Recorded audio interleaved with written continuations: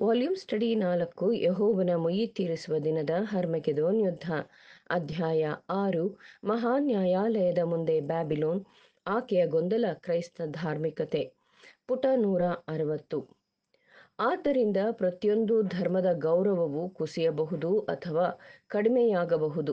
ಎಲ್ಲ ಪ್ರೇರಿತ ಪುಸ್ತಕಗಳು ವಿರುದ್ಧ ಸಂದೇಹವನ್ನು ಉಂಟು ಮಾಡಬಹುದು ಅಥವಾ ಒಂದು ಸಾಮಾನ್ಯ ನಿರ್ಲಕ್ಷ್ಯ ಸಂಭವಿಸಬಹುದು ಮತ್ತು ಒಂದು ನಿರ್ದಿಷ್ಟ ಧರ್ಮವನ್ನು ಹೊಂದಲು ಯಾರೂ ಉಳಿಯದಿರಬಹುದು ಮತ್ತು ಯುರೋಪ್ ಮತ್ತು ಅಮೆರಿಕಾದಲ್ಲಿ ಅನೇಕ ಮಿಲಿಯನ್ ಜನರ ನಡುವೆ ನಡೆಯುತ್ತಿರುವಂತೆಯೇ ಅನೇಕರು ತಮ್ಮ ಹೃದಯಗಳಲ್ಲಿ ಚಡಪಡಿಸುವಿಕೆಯ ಕಾರಣದಿಂದಾಗಿ ಮತ್ತು ಒಂದು ರೀತಿಯ ಧರ್ಮದಲ್ಲಿ ಮೇಲುಗೈ ಸಾಧಿಸುವ ಅಭಿಪ್ರಾಯದ ಕಾರಣದಿಂದಾಗಿ ಧರ್ಮದ ಕರ್ತವ್ಯಗಳನ್ನು ಸಂಪೂರ್ಣವಾಗಿ ನಿರ್ಲಕ್ಷಿಸಬಹುದು.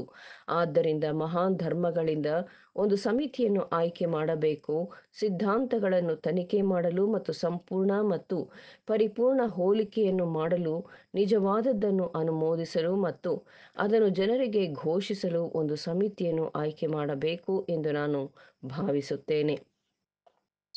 ಎರಡನೆಯದಾಗಿ, ಮಹಾನ್ ಬ್ಯಾಬಿಲೋನ್ ವೇಶ್ಯೆಯರ ತಾಯಿ, ರೋಮನ್ ಚರ್ಚ್ ಮತ್ತು ಅವಳ ಅನೇಕ ಹೆಣ್ಣು ಮಕ್ಕಳು ಅಂದರೆ ವಿವಿಧ ಪ್ರೊಟೆಸ್ಟೆಂಟ್ ಪಂಥಗಳ ನಡುವೆ ವಿಶೇಷ ಸ್ನೇಹ ಮಾಡಿತು. ಅವರು ತಮ್ಮ ಅವಮಾನದಲ್ಲಿ ವೈಭವೀಕರಿಸುವ ಅಪಖ್ಯಾತಿಯ ಸಂಬಂಧವನ್ನು ಹೊಂದಲು ಹೆಮ್ಮೆ ಪಡುತ್ತಾರೆ ಮೂರನೆಯದಾಗಿ, ಇದು ಒಂದು ಸುದೀರ್ಘ ಹಂತವನ್ನು ಪಡೆದುಕೊಂಡಿತು. ಈಗಾಗಲೇ ಪ್ರಸ್ತಾಪಿಸಿರುವ ಇದನ್ನು ಇತರರು ಅನುಸರಿಸಿದ್ದಾರೆ.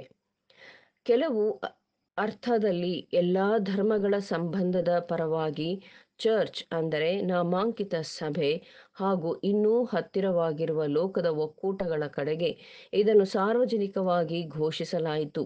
ಸಂಸತ್ತಿನ ಕೊನೆಯ ಅಧಿವೇಶನದಲ್ಲಿ ಅಧ್ಯಕ್ಷರು ಸಾವಿರದ ಎಂಟುನೂರ ತೊಂಬತ್ಮೂರರ ಕಾಂಗ್ರೆಸ್ಗಳು, ಅಂದರೆ ಪ್ರತಿನಿಧಿಗಳ ಸಭೆಗಳು ತೊಡಗಿಸಿಕೊಂಡಿದ್ದ ಮಹಾ ಕಾರ್ಯವನ್ನು ಪ್ರಪಂಚದ ಎಲ್ಲ ಭಾಗಗಳಲ್ಲಿ ಮುಂದುವರುವಿಕೆಯನ್ನು ಉತ್ತೇಜಿಸಲು ಭ್ರಾತೃತ್ವದ ಘೋಷಣೆಯನ್ನು ಹೊರಡಿಸಲಾಯಿತು.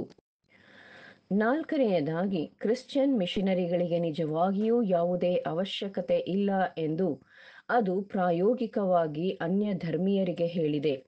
ಕ್ರಿಶ್ಚಿಯನರು ಸ್ವಂತ ತಮ್ಮ ಧರ್ಮದ ಬಗ್ಗೆ ಅನಿಶ್ಚಿತರಾಗಿದ್ದಾರೆ.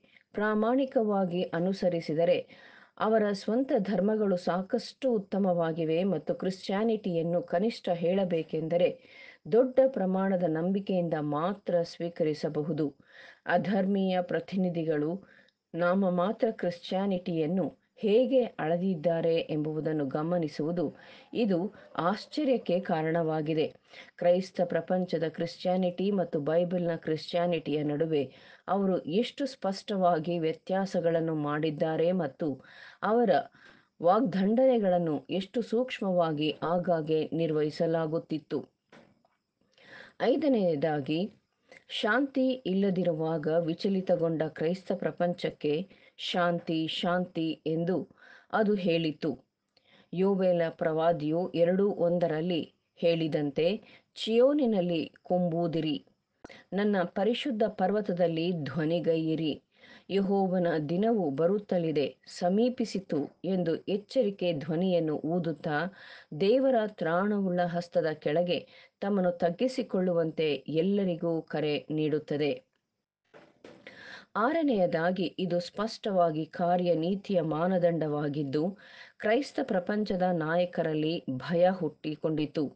ಯಾಕೆಂದರೆ ಅವರು ಯಹೋವನ ಈ ದಿನವು ಸಮೀಪಿಸುತ್ತಿರುವ ಸಂಕಟದ ಕಾಲವನ್ನು ಗ್ರಹಿಸಿದರು ಮತ್ತು ಈ ಆಂದೋಲನವು ವಿಚಲಿತಗೊಂಡ ಮತ್ತು ಗೊಂದಲಕ್ಕೊಳಗಾದ ಪ್ರೆಸ್ಬಿಟೇರಿಯನ್ ಚರ್ಚ್ನಲ್ಲಿ ಪ್ರಾರಂಭವಾಯಿತು. ಏರುತ್ತಿರುವ ಚಂಡಮಾರುತದ ಮಧ್ಯೆ ಶಾಂತಿ ಶಾಂತಿ ಎಂಬ ಈ ಶಾಂತಿಯ ಕೂಗು ನಮಗೆ ಪ್ರವಾದನೆಯನ್ನು ನೆನಪಿಸುತ್ತದೆ. ಅದು ಸಮಾಧಾನವಾಗಿಯೂ, ನಿರ್ಭಯವಾಗಿಯೂ ಇರುತ್ತೇವೆಂಬ ಜನರು ಹೇಳುತ್ತಿರುವಾಗ ಅವರ ಮೇಲೆ ನಾಶನವು, ಗರ್ಭಿಣಿಗೆ ಪ್ರಸವ ವೇದನೆ ಬರುವ ಪ್ರಕಾರ ಬರುವುದು ಅವರು ಹೇಗೂ ತಪ್ಪಿಸಿಕೊಳ್ಳಲಾರರು? ಒಂದು ಥೆಸಲೋನಿಕ ಐದು ಮೂರು.